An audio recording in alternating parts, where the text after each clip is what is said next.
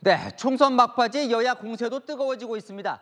국민의힘은 이재명 민주당 대표의 일하는 척 했네 발언에 총공세를 퍼부었습니다. 한동훈 비대위원장, 원희룡 후보와 함께 이 대표의 삼겹살 인증샷 그 식당도 갔습니다. 홍지연 기자입니다. 국민의힘과 국민의 미래가 이재명 더불어민주당 대표를 향해 총공세에 나섰습니다. 이 대표가 그제 지역구 유세를 마친 뒤 했던 일하는 척 발언을 부각했습니다. 일하는 척 했네.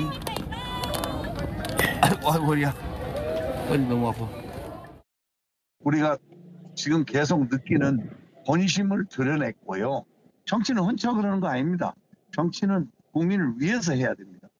인천 계양을은 이렇게 일하는 척만으로도 국회의원이 될 수 있는 곳입니까?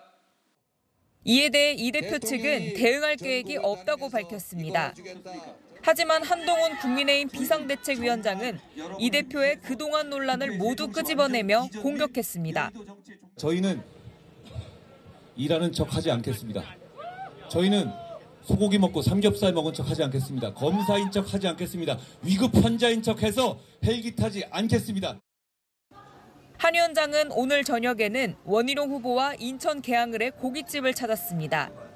거짓말 논란이 불거진 이 대표의 삼겹살 인증샷 장소를 찾아 공세를 이어간 겁니다.